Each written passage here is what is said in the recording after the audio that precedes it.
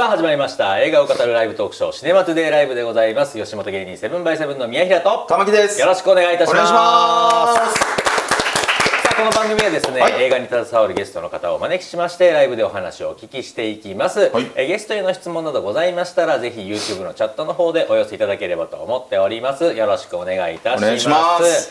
さあ本日のゲストなんですが、はい。えー明日2月10日に公開されます映画、えーエゴイストのですね松永大志監督にお越しいただきました。松永監督よろしくお願いいたします。お願いします。よろしくお願いします。ありがとうございます。ありがとうございます。拝聴されてます、はい。普通です。大丈夫です。普通はい こういった生配信みたいなのは結構経験はありますあでもラジオとかは、はああはい、るほど。結構。姿は見えずの感じそうでですね。そっちの方がまだ楽ですか？そうですね。だってこうやってやってても大丈夫です。い。やそうそうですよね。鼻声だなとは思われるかもしれない。けど映像に残ってないから。確かに確かに。はいはいはい。でこの「エゴイスト」なんですけれども、はい。えー昨年の10月の、えーはい。第35回東京国際映画祭で上映されたとはい。いうことなんですけどその時の反響はお聞きしました？そうですね。あいかがでしたか？の結構いい反響だったとうんうん思います。はい、うんはい。もう見た皆さんからのそうですね。なんかこういろいろこうレビュー、あのレビューっていうかそのツイッターの感想を見たりとはい。か、直接言葉をもらったりとか、そのまあ映画のまあ評論家の方とか、はいはいはい。まあそういう人たちの方たちの評価は良かったと思っています。うんはい。観客の人は、まあ、ツイッターでそれを見たりとか、まあ、あとと、まあ、映画のサイトですよね、はいはいはい。フィルマークスとか映画ドットコムとか、そういうのを見たりとかして、はい、自分なりにこうやって見ながら。あなるほど。結構行くんですね。ね。結構見ますね。結構探す感じ結構見ます本当に。あのガーン。ってことは大丈夫ですか？うんまあそそうですね。なんか 結構そのすごいガーンとして時ほど意外とこう掘り下げてみますね。あ行ってみてガーンってしてってことですか？そうガーンとしてなんで、はなんかそういううん。別に見たいわけじゃないですけど、でもやっぱりいろんな意見が出て、ん。まあ当たり前だなと思うと、あとその、ひまあ、お客の広がりとして、自分が映画を作って、身内がまず見るじゃないですか。身内っていうかそのファンの人とかね、はいその役者のファンとか、はい。でそこから次って話題になるとその,、その周りの層がまず見ていくんですよね。そうなっていくとその手加減ないコメントが出てくる。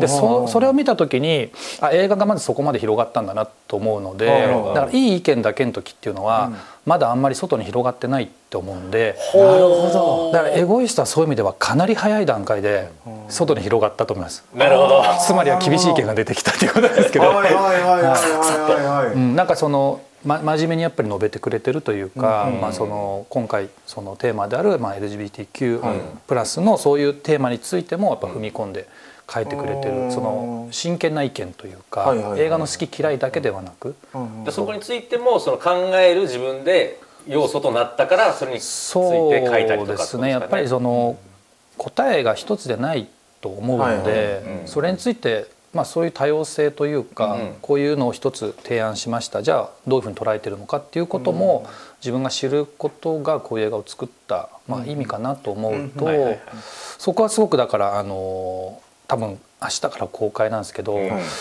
まあ、相当いろんな意見が出てくるんじゃないかなと思います。うん。なるほど。はい。でも一般も一般に広がっていくわけですもんね。そうです。そうなってほしいって思いで作ってるので、だからやっぱりこう厳しい意見というか、はいはいはい。好き嫌いも含めて、まあ、ネガティブな意見が出てくるっていうことは、それだけもうこの映画に対する何の何ですか気を使わなくていい人たちが見てくれてる。あはいはいはい。はい。あなるほど。身内でない人たちがお金を払って見てくれてるっていう普通のお客さんはいはいはい。そこがだから貴重かなと思いますね。で入り口どこまあまあまあ鈴木亮平さんだったり、はい。宮沢ひろさんだったりっていうところの入り口はあれどまあそれこそ口コミはでい、何かで目にして気になってるって方も、そうですね。いますしね。はい。やっぱりちょっと見てみようかなっていう人たちがどういうふうに見るのかっていうことがとても気になるっていうか。ね。怖くもあり楽しみでもあるんですかね。そうですね。でも自分が映画を作り続けていく以上、そのどういうふうにそれは技術的なこととか、テーマの描き方とかやっぱり人がどう見てるのかってことをやっぱりある程度ちゃんと知っとかないと次につながらないとも思うので、それをこう見ない見ないってなってたら、多分ダメかなとは自分の場合は思なるほど。うなるべくだから読むようにしようとはしてますけどいやまあそれはでもやっぱりなかなかタフな仕事タフなあれですけどそうですよね。ね僕自身の メンタルがね。そうですよね、まあ、人間否定みたいなこともねされるわけですから、はいはまあ、でも容赦ないからこその。そうですね。それも含めてでも監督ってそういうものかななるほど、まあ、その作品を作るにはい。上ではもう大事なことってはい、多くことですよね、のスタッフにまあ関わってもらってるし今回なんかは鈴木亮平宮沢ひよが本当にいろんなものをこうかけてはいはい演じてくれてるので、そこに対してのまあ責任というか、はあそれはまあはい自分がこうそういうものを非難というか、うん受けても、まあ、当然だと思うなと思いますけど、はい。なるほど。日本代表のサはい。ッカーの監督になってほしい感じですよね、責任を一手に。なるほど。森保監督次は。次はっていうみたいな形でございます、はい。さあそれでは、はい。早速ですが、えーはい。エゴイストのですね予告編の方をご覧いただきたいと思います、どうぞ。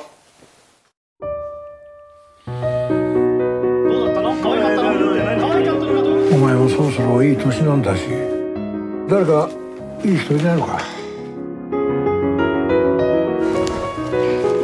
いつも通りで大丈夫だから。さ恋人の前に会うとかないから。恋人なんて言うわけないでしょ。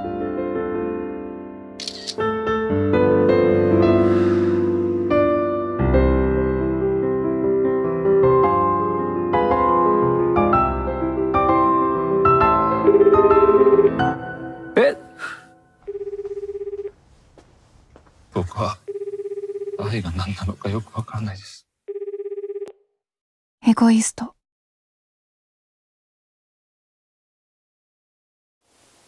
予告編の方をご覧いただきました、玉木さんいかがだったでしょうか、えー先にですね僕ら、はい。えー作品の方ちょっと見させていただいたんですけど、はい。あのーもう僕は、うん。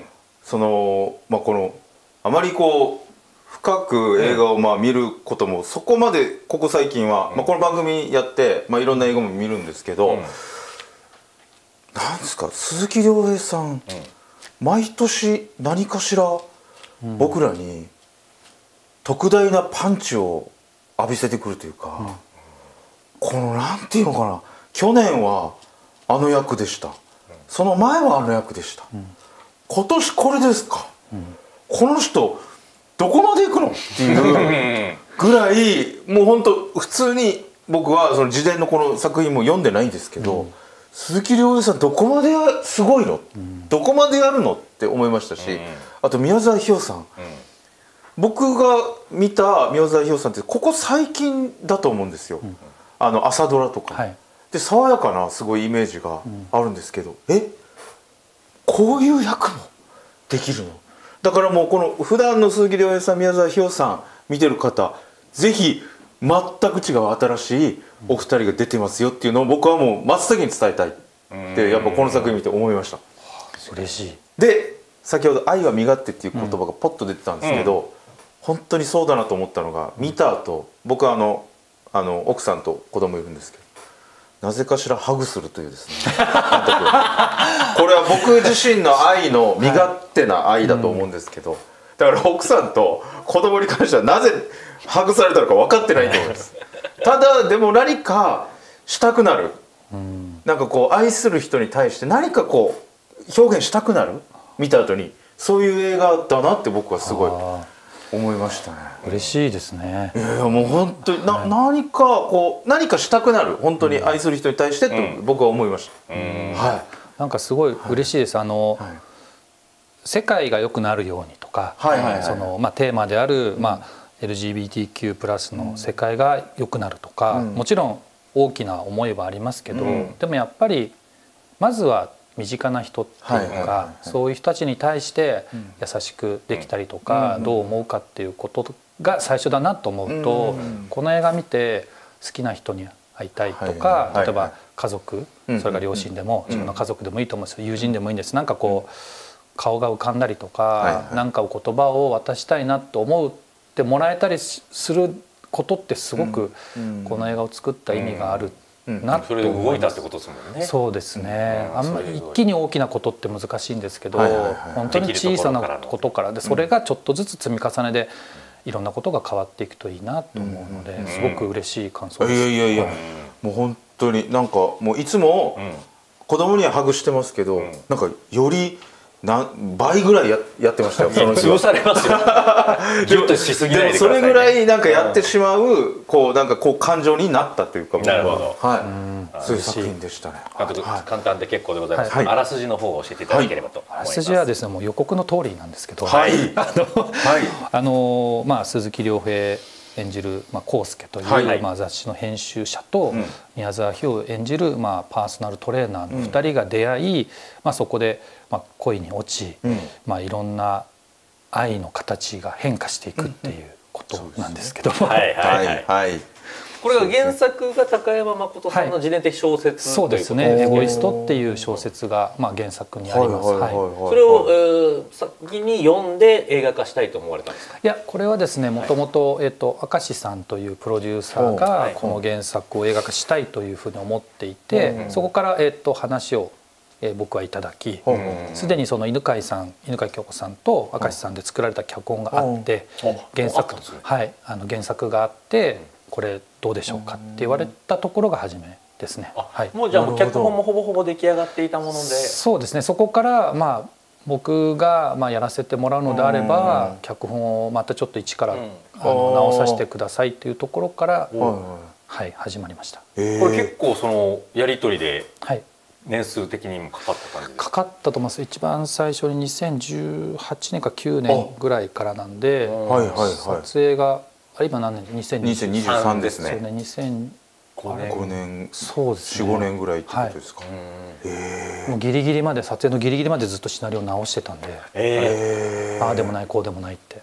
ーそれはもう言葉選びであったりとかってことですか？そうですね。言葉選びというよりか、一番最初に犬飼さんが書いていただいたシナリオってすごくよくできていたんです、うん。よくできていて、あのーそのままもう本当に撮れる台本だったんですけど、僕が撮るとしたちょっとドキュメンタリーっぽくしたいなっていうのがあったんで、はいはいはいはい。現場でリハーサルをしたりとかする中で撮れるものを増やしたいと思ったんです。だからすごい省いてたんですよ。セリフもすごい省いてシーンの説明もシーンも省いてってどんどんどんどん短くして現場で増やしたいと思ったんでかなりこうタイトにさせてもらいました。なるほど。はい。なるほど。言われたらなんかドキュメンタリーみたいな形で撮りたいと言われて。そうですね。はい。なんか思い出した。そうね。そうだったよね、なんかその映像の感じが、ん。そういうと撮り方というか、そうですね。ね。だからもうテストっていうテストはあんまりしないで、はいはいはい、リハーサルはクランクインする前に1週間ぐらいかけてかっちりやって、はいはいはいはい。それも台本のシーンをやるのではなくて例えばうーんとまあ2人は鈴木亮平と宮沢ひよは映画の中で出会うので、はいはい。映画よりも前の時間というのは2人にはないですけどえっと、宮沢ひよと、えっと、宮沢ひよのお母さん役の演じてる阿川さんは、はこの映画が始まるよりも前の時間があるじゃないですか。うん。はいはいはいはい。でその時間を作ったりとかしてました。えほう。だから例えばじゃあ高校生の時とか中学生の時にどういう会話があったと思いますかっていうことで設定を渡してー、はいはいはいはい。あのこういうふうなシーンを作るんでっていうことでそれぞれにこう、まあ、僕はなんかよくカードみたいなのを渡してはいはい。食卓のシーンをリハーサルで作ってはいはい。それぞれの会話の内容を渡して用意スタートでこうエチュード、まあ、即興芝居やってもらって なんかそのこの映画にとって必要な景色をまあそれはもう控え、まあ、スタジオみたいなところですけど、一緒に見てもらうっていうか。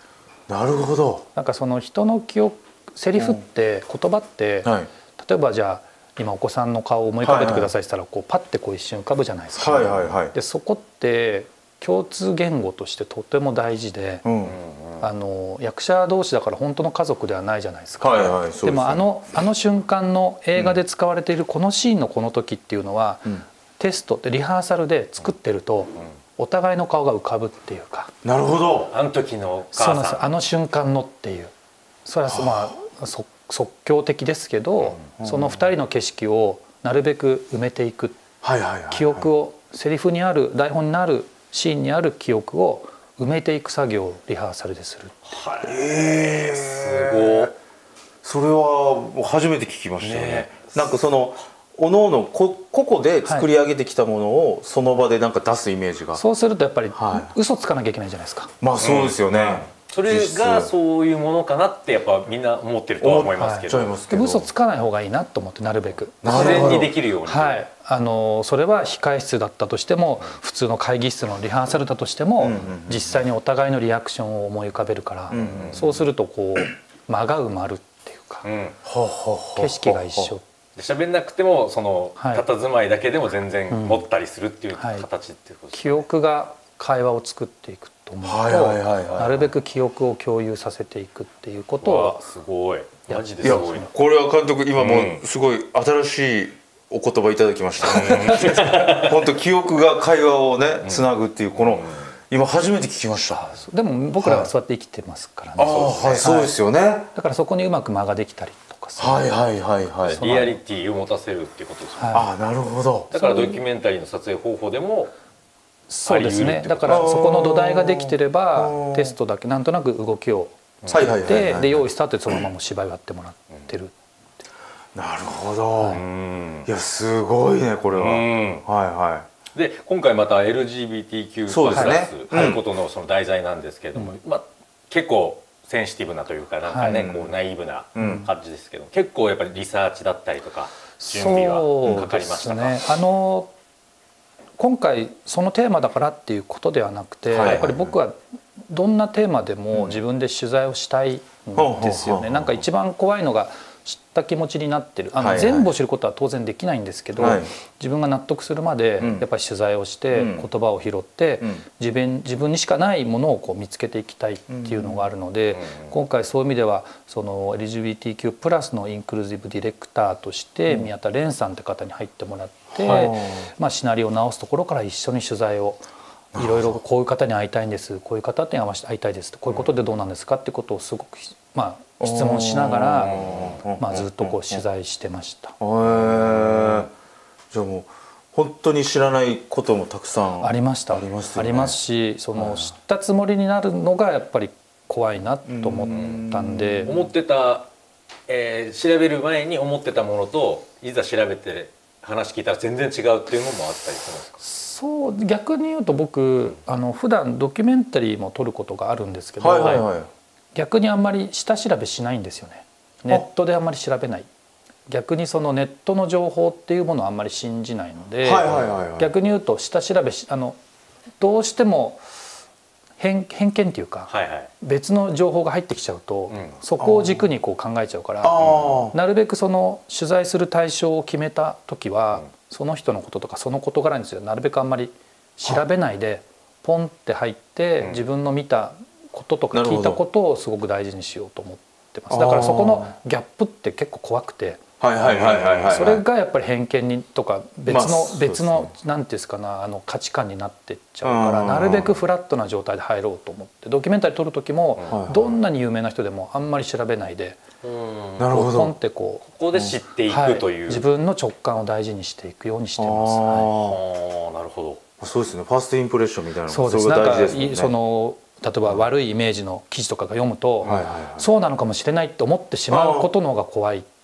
そうですよど、ねいはい。1でも入ってしまいますもんね。そうなんですそうなんです。うん。なるべくそれはだからゼロでっていうことだよ、はい、そうですね。ああなるほど、えでも今回この鈴はい木亮平さんが演じていたはい。そうですよね。陽介とかってえはいすごい、うん。その演技力というか、うん。もうそうだなってしか見えないというか、はい。そういう形だったんですけども、その3年前にはい。鈴木亮平さんにお話をされたと、そうですね。東京国際映画祭の時にお互いそれぞれの作品に来てて、はいはいで別ですよね今回の作品じゃなく、はい。はい。ちょっとすれ違った時に「あ良平」っつって「どうしても読んでもらいたいものがあるんだ」っつってえ「下にが」っつって言ったんです。えもともとすごい古い古くからの知り合い。なるほどあそうなんですね。そうなんです。お互いが僕が監督になる前はい。良平が役者になる前からの知り合いあでえー、結構だいぶ長いですね。そうです。えーだから知り合ってからすごい長くて、はなんかその時にお互いの夢を語り合ってた時があって。それはもう監督と役者だったんですか？そう。でいつか一緒に映画撮りたいねみたいな。え？これが？う初めてです。わーかなってる。すごい。それだけでももう見に行く価値あり。あいやありですよ。だから撮影の初日に、はい。まあ本当初日初日のファーストシーンの時にまあなんか段取りを伝えた後に、まあ、まあそこのロケーションのさ端っこでまあスタッフがこう準備してるのを見ながらまあ、そしたら良平がビューって来て「あの時話してたこと覚えてます?」って言われては「あ覚えてるよ」っつって「俺たちやりましたね」あうわ すごい。ーめっちゃかっこいい。そうそ監督その時強めのハグしました？鈴木さんと。いやそれよりもこっからの、今日からの撮影の方が大変だなそうかそうかそうか。あんまりそのなんかそうですね。そこででセンチメンタルな気持ちで。すよね。うん。高振りすぎるとですよね。そうです。はいそれがゴールみたいになっちゃうからね。そうですよもうそねの後何もできなくなっちゃうんで。そうですよね。でもやっぱりあの、だからこそこう期するものがあったっていうなるほど。かそのどういう覚悟で、まあ、鈴木亮平もそうだし宮沢ひよもこの役に、まあ、覚悟を持ってん。トライしてくれてるっていうのも当然やっぱ感じていたのでだからこそまあうんまあ、自分は絶対妥協しないと思ったし準備も含めてですけどね宣伝も含めて。はい。お二人をこうまあ起用されようと思った理由はどここにあったんですか、とまあ、いつもどの作品も僕はプロデューサーと一緒に相談しながら決めていくんですけどあの明石さんプロデューサーの明石さんから、うんうんまあえーとまあ、鈴木亮平さんと宮沢ひよさんの組み合わせどうでしょうかみたいなことを言われてであーなんかちょっとできすぎじゃないかなと思ってあ。2人がいそうかっこよすぎるっていうか、綺麗にまとまってるなというか、ちょっと一瞬考えていいですかっつって、でまあなんか2週間ぐらい考えたんですけど、はい。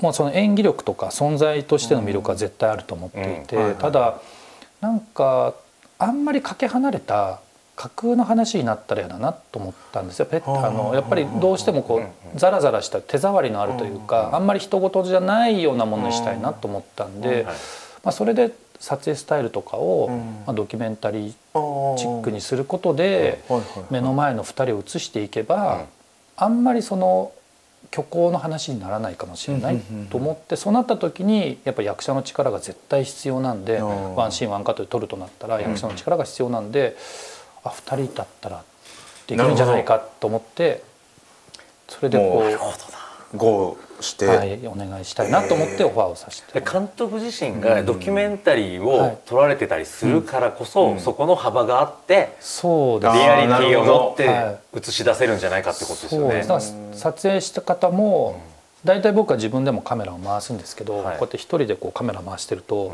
こっちで起こってることとこっちで起こってることを選択しなきゃいけないじゃないですか。はあはいはいはいはいはい。今おはい二人は僕の前に座ってますけど、はいお二人がこことここだった時に、は自分でし瞬時にやっぱりいつもこう選択しなきゃいけなくて、はいはい。どっちを取ることがこの空間を表せるかみたいな。あなるほど。ただ、ちゃんとそこにやっぱり成立してれば、うん。片方を取ってなくても絵としては意味がちゃんと出てくるなっていうこともあってうん今回はだからあの近い距離で撮ってるんで、2人が収まってない時があるんですけど、うん。2人がちゃんとそこに存在してくれていれば片方しか撮ってなくてもそこの空気をちゃんと見てる人が感じれるんじゃないか。うん。だからこそ2人がまあそれは阿川さん含めてまあ他の役者もそうですけどワンシーンの役者であっても絶対そこにいるっていうことが条件になってくるっていうあすごいな。あいやそれはすごいですよ。は。はいはい。いでまたもう本当にそうそうにしか見えなかったという鈴木さんのこの役作りとかって、そのもう結構されてきたって感じ。それとも監督とお話しされてからって感じですか？えっとまあもちろん個々それぞれ、うん。えっとまあ、衣装合わせの時から、うん。えっとまあ、スタッフみんなで、はい。まあ、メイク、うん。衣装合わせていろいろこうそれぞれのキャラクターについての話をしながら、まあ、微調整していって、で、えっと、クランクイン前の1週間で役を詰めていくというか、だから台本のセリフの言葉尻をちょっと変えたりとか、どんどんそれでみんなでこう見つけていったっていうことですね。あんまりこう固まったものを持ってはきてなかったっていうかベうんースは作ってきてもらいましたけど。むちゃくちゃそのあの5人ぐらいで喋ったり居酒屋で、お友達とね、はうん。そうだったじゃないですか。そうですね。あれもリハーサルで、はい。まずあのまあ康介、まあ、良平演じる康介のはい。友達役はみんなその芸の当事者の方たちに出てもらったんですけど、うん皆さんその役者じゃないんですよ。あはいはいはい。でその芝居をやったこと、はいはい。芝居をやったことない人たちなんですけど、はい。そのインクルーシブディレクターの宮田さんに、うん。その当事者の方たちをキャスティングしたいんですって言って声かけてもらって、はいはいそれでその中から選ばせてもらって、それでリハーサルの時にとにかくこういうシーンでこういうことを伝えたいシーンなんですけどって言ってじゃあ喋ってくださいって言っては最初だから2時間とか3時間ずっと喋ってる。えそれは普通にもう飲みながらみたいなあもう本当にいや会議室なんで飲みながらというか普通にはいはいはい。あのテストとして。うん。で3時間3時間ぐらいわーって喋ってるのを、まあ、2時間とかかな、じゃあはいっつって切ってじゃあこのセリフとこのセリフとこのせ言葉だけは残してもうちょっとタイトにしましょうかとかっていうのを何回かやってはいはいはい言葉をどんどんどんどんこうタイトにしてって抽出してその話は残しましょうとか。なるほど。でその時もこうやってこうそれぞれの役割を紙に渡して。うん。それでリハーサルを終えて大体だから30分間ぐらいのタイトな会話にして、はいはい。で本番まで本番までそうなんですよ完璧にはしないで。はいはいで本番も大体25分ぐらいずっと喋りっぱなし。なのを45回やってました。ええそこでこう良かったやつをこう抽出してそうですね。映像にっていう感じ、やっぱりあれですかその役者をされてない方々ですけど、うん。やっぱ対応能力としてはどうですか？そうですね。はい僕はだからその人に持ってるものをやってもらってるうんあなるほど。のでうん。だからないものはあんまりああなるほど。あるものをそのまま出してもらえればいいかうん。らやっぱりいろいろ話を聞きながらうん。その人のまあその個性みたいなものうん経験みたいなものを聞きながらあじゃあその話してくださいって。まあ自分のことを話する分には演じる必要ないので。はいはいはいそうですよね。だからうん。はい大丈夫でした。みんな楽しくやってくれてました。ええ。やっぱりなんかあのその鈴木亮平さん含めて皆さんお友達でいる感じの会話とかね、うん。聞いてたら僕ら芸人側からしてもあのすごい回転が早いな皆さんって、うんうん。すごい思うんですよ、うん。だからなんかこう例えば監督がこれをちょっとこうそぎ落としましょうって言った時に、絶対にこのそぎ落として提出してくるだろうなとか、そうです。中にはそのあれですよこうなんかこうきなんていうんですかね言っちゃいけないワードみたいなのもあるんですよ。はいはいはいはいはいはい。そういうのをこうポッて言っちゃう子もいますけど、ああはいはいはいで中にはもそれはまあ全然もう一回やり直せばいい。ああそうですよね、いやもうなんかそのそういうところでさ、うん飲みにとかも行ったことあるけど、はい。もう芸人が負けるぐらいそうですね。すごいんですよ、会話が、みんなめちゃくちゃ本当に今回一緒に、あの作らせてもらった方たちは本当に面白くて、みんな頭良くて、楽しかったです。うん。本当に映画を支えてくれてると思います。うん。あのやっぱり居酒屋のシーンって本当にやっぱり大事で、はい。なんかそこに見てる人が一緒に混じりたいなって思うような空気を作りたいなと思ってたんで、だからもう撮り方としてそ,、のいいる感じでしたもん。ああ嬉しいですね。いやそうね。あのそお酒こそなけれど、はい。そいるっていう、うでなんかねこの、うん。本当この間今映像に出てる感じで、うん。本当にこれ新宿三丁目のとこ歩いてる感じね。そうそう。だからふざけ合ってる中に一うん人俺もいるないるみたいな。本当にみんなが楽しんでくれてたんで、はい。これはもうやっぱり監督冥利に尽きるっていうかもう見てるだからスタッフみんな楽しそうに、うんもう誰も飽きてなかったですね。25分間長回しでも、うん。本当に。ずっとニヤニヤそう楽しくて楽しくてしょうがなくて。あ所作とかもすごいいやすごい上手だったというか。ああそうです。そこは本当にあの本人がすごく気をつけていて、例えばそれはそのゲイっぽくとかではなく、うん。なんかどういうふうに例えば親の前友達の前、うん。恋人の前でどういうふうに自分が感じるかってことを逆に大切にしてそこもあのインクルーティブディレクターの宮田さんとかと本当に細かく、まあ、その話しながら、まあ、そのゲイの友達の人たちともすごくいろいろ話しながら、すごく丁寧に演じてくれたと思います。うん。すごいな、はい、また宮沢さんには結構リクエストとかもされました？費用には、えっと、まずパーソナルトレーナーの役だったんで、はい。まあ準備期間の1か月か1か月半トレーニング本当にしてもらって、はいはい体ちょっとはい作ってい作って。もらってその所作を覚えてもらって、であとはもう会った時にあ彼はそのリュータをできるなって思ったそれを持ってる人だなと思ったので、うん。同じように、まあ、うんリハーサルとかで詰めてったぐらいです。はい。うん。いやすごいようね、ん。でこはい。いえーシーンの中で、うん。えー鈴木さんと宮沢さんがこう、久しぶりに再会するっていうところで、はいはいはい。結構こう鈴木さんが本当に苦しかったみたいなうん。お話を聞いたという感じなんですけど、うん。そこは感情的にはもうめっちゃ持ってってたからってことなんですかね。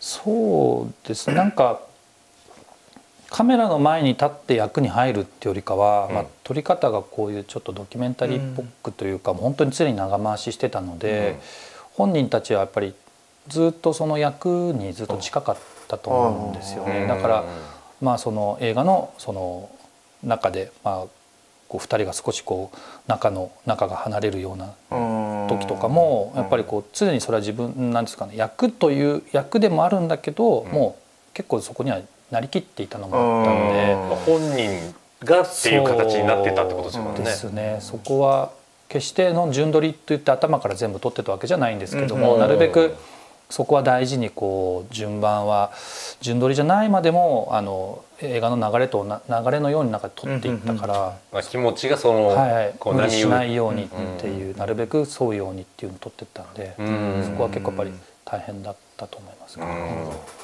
やでもあと、阿川さん。いや阿川そうですよね。阿川これ佐和子さんが演技をされるってあんまりうん。イメージ見たことなかったので、ないですけど。でもすごくお母さんだったっていう。いや阿川さんは最高だと思います。まあもう本当三人本当最高なんですけど、よくまあよくっていう経か、験ないってことですよねあまり。そうですね阿川さんね。でも阿川さんもやっぱ持ってるものがあるので、はいはいはいはい。その阿川さん演じる妙子を誰にするかっていうのをプロデューサーと話してた時に、なんかこう既視感がある人よりかは、あんまりどういう芝居をするかわからない人の方が面白いなと思って、なるほど。いろいろこううん。なんか誰がいいかな誰かないいかなって時にある時にプロデューサーから「阿川さんどうですかね?」って言ったら「阿川さん」って。かもしれないと思って。ああなるほど。ピント来たんですそねう面白いかもしれない絶対。絶対にこの人この方はうん。できると思ったんですよね。はでもう初めてお会いさせてもらったらもう素敵でで私はもう芝居なんかって言うから「大丈夫です」って「そのままで大丈夫です」って言って出てもらいました。めちゃくちゃ良かったっすいめちゃくちゃ良かったな。僕もそう思います。本当にお母さん。うん。みなんかわかんないですよ、多分みんなのお母さんをちょっとずつ持ってると思うんですよ、ああそうだね。うんだからあいいお母さんってうん。僕も思えるし多分玉木も思えたといや思うし。思えた思えた。見た方全員が多分すお母さん。ごい自然体なんですよね。はなんか本当に自然にそこにいてくれたんで、はいはいはい。本当に助かりました。すごいうん。いあこれその上のシシーンは言っていいんですか、言わないようにしましょうか。そうですね。なんかまあ。OK 出す出しづらいそのはい。鈴木さんが、うん。えー阿川さんと絡むシーンがあって、はい。はい。なかなか OK が出なかったというシーンがあると。そうですね。OK っていうかそうですね。例えばえっとまああるものを渡すときに、はい。えっとどっちかは渡したい、うんうん。どっちかは受け取らない。えもういい、でもでもとかっていうあれしうん。ありますもんね。はい、で最終的に、ね、シナリオでは結論が出てるんですけど、はいはい。その結論に向かってやらないでください要するに本当に例えば受け取りたかったら受け取っていいし、受け取らなか受け取りたくなかったら受け取らないでくださいっていう。ほう。でももうそれは結論はあるけどってこと、ね。そう結論はあるけどでももしそこの結論に到着しなかったら到達しなかったらそれでいいですって。それは結論に到達させることができなかった相手が悪いですからああ、なるほど。無理に無理に台本にあるからそっちの結論に行かないでくださいっていうなるほどこれ何回かだからやり直したってことですよね。何回かやりましたね何回かややりましたしもう途中からもうだからもう本当に必死だったと思いますよもそっか。うお互い。ややれなかった場合がというか もうだからそういうことでもうだからもうお互い本当に必死にぶつかってるからあ相手のことも思うし、ーはい。受け取りたいけど受け取りたくないけどみたいなのすごいせめぎ合いがもだからそこリアルにさせたってことですね。はいもう何回例えばじゃあこう行き来してもいいですみたいなだからもうモニター見ててもなんかなるほど なるほどなるほどダメだったかとか。そう思いながら。でも OK のカット撮った時に、あなんかこの映画撮れたかもって思いました、うん。このえ映画そこでもうバチッと。はい、エゴイストっていうのを表す一つのシーンだなと思ったんであー。もう二度とこれは撮れないと思ったしー。映画ここそこのシーン撮れた時に、あなんか一つできたかなとは思いました、はい。監督自身その台本の結末の部分はあるけど、はい。それをそこに行かない、うん。もう本当に自然の流れでっていうのは、もともとあったこのはいそうですね。そういうふうにいつも作った。例えばなんかこう台本ってすごく重要な共通言語だと思うんです、はい。はい。例えばこういうのでもあるじゃないですか、はい。進行台本、はい。はい。でも時にやっぱり面白さをなくすじゃないですか、段取りっていう形で。そうです。ね。例えばこうこっちに歩こうとしてるけど、誰かに止められてこっちに連れてかれるっていうシーンがあるとしたら、こっちに行こうとする後にこっちに行くっていうのが分かってると、こっちに行くのを意識するんですよ大体。うんしますね。そうですね。それがつまんない。やっぱり力の方向性が別のところに行ってる時に初めてこうぶつかりがあって面白いからこっちに本当に行きたいっていう人をこっちに行かせるっていうもう一人の人のあなんていうんですかね思いみたいなのもあって強ければ強い。ほどそこにドラマが生まれると思ってるんで意外とそういう風なのを意識して意外とシーンを作って2人の気持ちがぶつかるところ。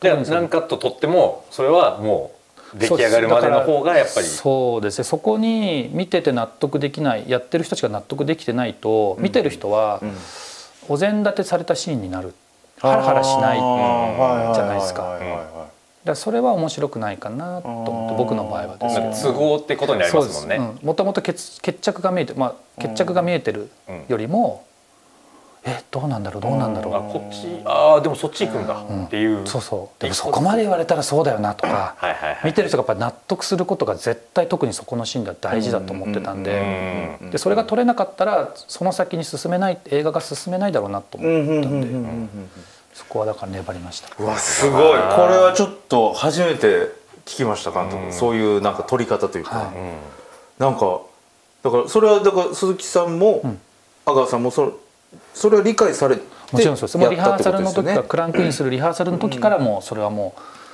今回のこの作品は僕はそういうスタイルでやりたいですって言って無理にそっちに行かないでください。台本の方向に自分が違和感あったらそのセリフは言わなくていいですっていう。そ結果はそっちですけど今の気持ちでい至らなければもうワンテイクやりましょうかはい。っていうことです、必然性がなければそこに行かなくていいですってそこに台本に沿って嘘をつかなくていいですっていう。これだから質問じゃないですけど、はい。はいこれは役者さんお芝居難しかったと思うというねコメントありますけどどうですか、ね、そうです。芝居じゃないんですよねだから、うん。集中してその役を作っとけば、今自然それ簡単に言うのは簡単ですけど、え。でもお芝居じゃない、そうですよね。フィクションだけどそこにドキュメンタリーな瞬間を撮りたいと思っていて、うんうんうんだから逆に言うとシンプルにそこに立ってもらえればいいっていう。だだからもうその人であれば自然とそれが出てくるはずだしってことですよね。そうですね。セリフを言うことが別に役者の仕事じゃないっていう。その先にもっとあるっていう。う。ん監督自身がこうここ、まあ、今のシーンもそうでしょうけど、こう特に思い入れのあるシーンとかはあったりしますか、思い入れのあるシーンは、まあ、む難しかったでもいいですしここ良かったとか見てほしい。そうですね。その「エゴイスト」っていうタイトルにあるように、ん。まあこれは誰かの例えばじゃあ愛情まあ康介鈴木亮平演じる康介が 宮沢ひよにはい。その愛愛を捧げていくんですけど、その愛が時にうんまっすぐすぎて、相手にとってはもしかすると暴力的だったりするかもしれないじゃないですか。思いというそうですはい。だからこう康介の大きなその愛情っていうのを時に龍太が宮沢ひを演じる龍太が素直に受け取れないって瞬間がやっぱりあるんですよね。でそれを本当に些細なことなんですけどもやっぱり表しているシーン瞬間がいくつかあって、はいはいはい。そこってすごくみのなんかパッてこう芝居として撮っちゃいがちなんですけど、うん。それをこうあるシーンで、まあ、いつものように鈴木亮平が亮平あれ費用にこういうことをしてあげたいって時に素直に受け取れない気持ちがあるっていうのを、まあ、結構丁寧に表現したくてそれはやっぱり宮沢費用が本当に何ですかね些細な表表情を作ってくれたのは、あの大きいと思います。見てる人からするとうん。なんか手放しで喜べないっていうか。はいはいはいはいはい。はいその愛情わかるんだけどその愛情を受け取ることでまた自分が頑張んなきゃいけない。なんなんですか。ね例えばすごい応援してくれてる人がいて、はい。その気持ちはわかるし自分も頑張りたいんだけど、そこを頑張る自分たちのプレッシャーじゃないけど、あるじゃないですか。難しいですよね。距離感だったり、詰め方のスピードだったりとか、うんでそれうをなんか分かりやすく表現してほしいとも思わないんですよ。はあなるほど。一瞬のその心のピュッなんかちょっとこう生まれるこう迷いみたいなものだけ見たいんで。はいはいはいはでそれをやっぱり費用が本当に丁寧に表現ししてくれたりとかはすごく毎回大事にしてました。ん。はい。いあれだから作品の中ではい。何か僕もちょっと気になったんですけど、そうその今のお話に関連するのかいろんなアイテムはい。がたくさん出てきたじゃないですか、はい。うん。はい。それについてはやっぱ監督自身も結構そうですね。かなりこだわった。こだわった感じですか、だと思い。うん。中でもちょっとやっぱ僕はお花とかが出てきたので、そうですね。あそこはい。もちょっとこだわりあったのかな、ありましたね。そのなんか映像で表現するってまた言葉とは違う。もともと原作はまあ言葉ですしはいはいはい言葉をどういうふうに映像にするかっていうこととかはあの説明台詞だと嫌だなと思うのでうん。でもその例えば花が枯れてるとはいはいはいか花が生き生きしてるってだけではいはいそれを花をまあ所有してる人の状況が分かったりするじゃないですか。そういうのはやっぱりいろいろまあ心がけましうん。心がけというか大事にしましたね。なるほど。だからもう本当その一つ一つうん。何かしらこのなんていうんですか康介と龍太のうん。お互いで持ってるものだった。り、っうん。ていうアイテムが何かしらちょっとこうこだわりなのかな。そうですね。そのものの行き来みたいなものは、ですよね。はい、そのまあ康介にとって、うん。まあ、服は鎧だっていうはいはいはいはいその自分を守るためのファッションっていうかうん。ブランド品なんですけど、その服を、まあ、映画の中ではこう持ち主が変わっていくわけですよね、あはいはいはい。自分の大事なものを渡していくはい。とか、そういうのはあのあんまり分かりやすくは説明してないですけど、うん。彼にとって大事なこの服を、うん。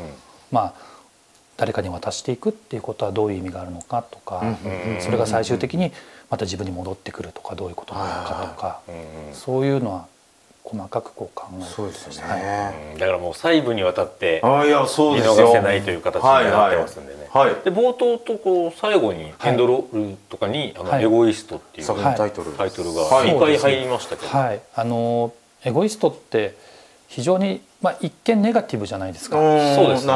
別にポジティブな言葉じゃないんですけど、じゃあこの主人公の康介の、まあ、自エゴ、うん。誰に対しての愛なのか、うん。自分のための愛なのか本当に人に対しての愛なのかっていうのが分からないけど、うん最終的な彼の行いっていうのは、エゴエゴだけど誰かを幸せにしてるんじゃないかっていうふうに思ってもらえるんじゃないかと思って、うんうんうんうん映画を見る前に見たエゴイストって言葉と、うん。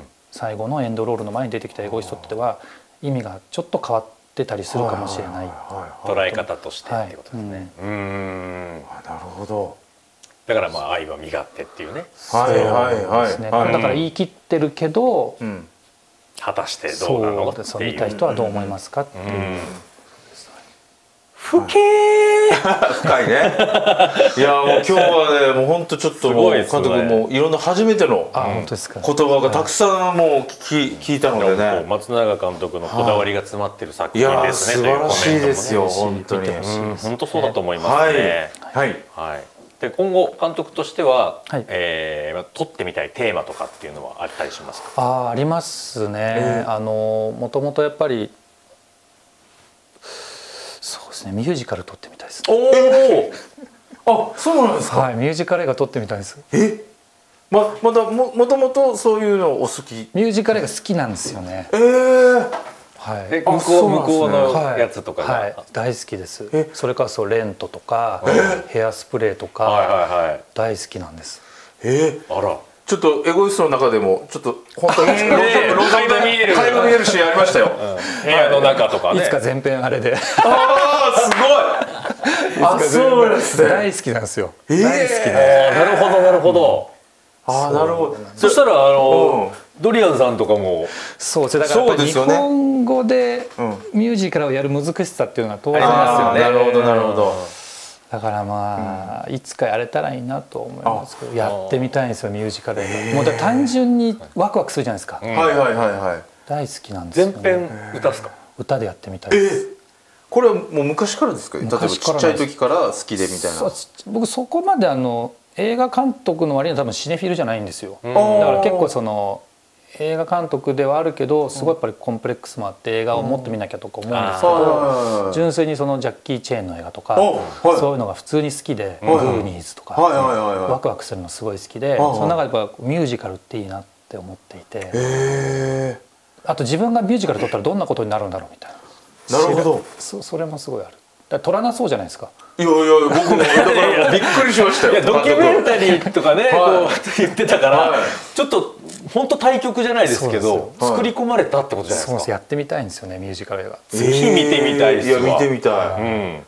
エゴイストのミュージカルバージョンもいやいやいやいや。でもそれで言うはい。とそれがレントみたいなもんですよ多分。ああなるほどなるほど、ミゼラブル的なこともねなんか悲しみとかもあったりとかいろいろあるかも。そう。ですよねまあレントは傑作ですからあね。あすごい、はい。はいいや楽しみですね。楽しみ。はいやってみたい。いつやれるかどうかわかんないですけど。いやいやい。やぜひ俺言っとくことに意義がそうですよね。まあ自分のためにも言っといてみようと思って。舞い込んできますんで。いやすごい初めて言ったかもしれないですね。おい。やありがたいでございますよ。思いはあるんですけど。はい。で、はい。えー松永監督にとって最高の映画、理想の映画というのを、まあはい。重複しても大丈夫ですけど。そうですね、はい。あのまあ映画ってやっぱりエンターテインメントであって、まあ今は配信で見れたりとか、はいはい。いろんな形があると思います。でも自分にとっては映画館で、うん。その大きなスクリーンで、はい。大きな音で見てもらいたいなと思う中で自分がすごいなって思ってるその商業性と作家性みたいなものでは、まあ、黒澤明さんの「七人の侍」がう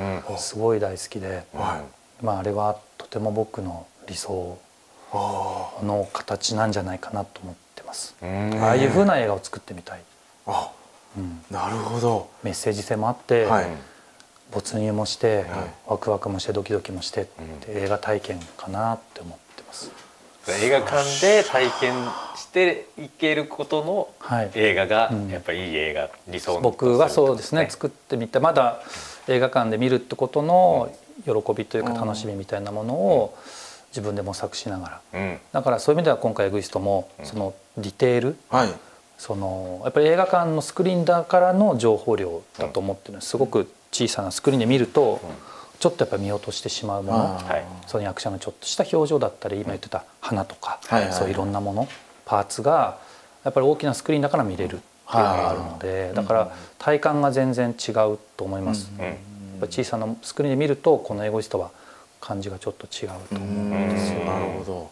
だからぜひお大きなスクリーンで、そうですね。見てもらいたいですね。うん。やっぱり監督自身もさ、はい。やっぱ最初に例えば映画を見て、うん。何かこう例えばさっき言ってたジャッキー・チェンとかグーニーズみたいな、やっぱそういう大スクリーンで見たからこそ、そうですね。やっぱり映画館に入って出てくる時に、はい、なんか景色が変わるはいはいはいはいはい。その人になりきっていたりとか、かなんかエンドロールの歌口ずさんだりとか、はい。ジャッキー・チェンの歌とか何言ってるか分かんないけど友達とかと口ずさんでましたからね。はいはいはいそうですよね、はい。リズムだけをね、そうそうそうそう、はい。鼻歌で。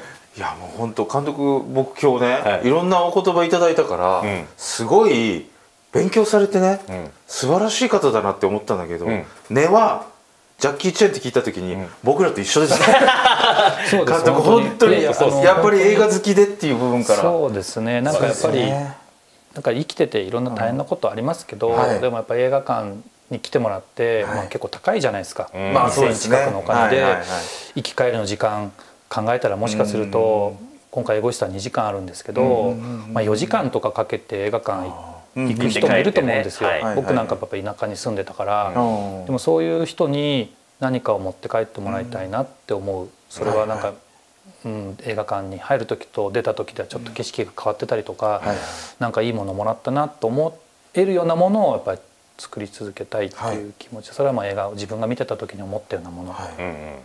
なので、いやもう絶対に持って帰ります、だって僕自身が持って帰って、奥さんと子供をハグしてますから。絶対にその人は一人はいますよ全然いっぱいいらっしゃいっると思いまぱいいますすよんで本当に。嬉しいですね、はい。そうなってほしいと思います。はい。ありがとうございありがとうごますざいます。はいえーはい。残念ながらお時間がお時間が。やってきました、はい。ということでございまして、はい。過ぎちゃってすみません、はい。えー最後にですね視聴者の方に向けて一はい。言お願いできればと思います、えー2月10日、えーから明日映画「エゴイスト」公開になります、え今話したようにあの大きなスクリーンでぜひ見ていただきたいと思います。まあ、この映画にいろんな、まあ、関わった全てのスタッフのいろんな思いが詰まっているものをですねスクリーンで浴びてもらいたいと思います。どうぞよろしくお願いします。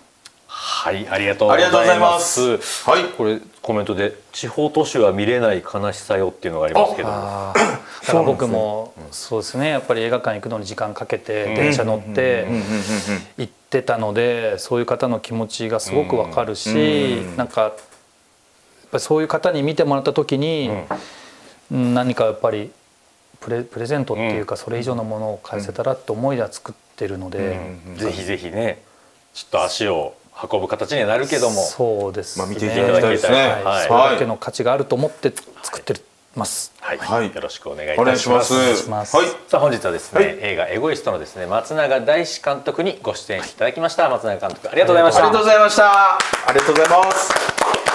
映画エゴイストはですね、はい。明日の2月10日より全国で公開されますので、ぜひ劇場の方でお楽しみください、はいさて来週のシネマトゥデイライブなんですが、えー映画「ウルトラマンデッカー最終章、えー旅立ちの彼方へ」のですね、はい。えー松本大樹さんをですねゲストにお迎えしてお送りいたしますのでお見逃しのないようチャンネル登録の方よろしくお願いいたします。お願いします。それではまた来週です。さようなら。さよなら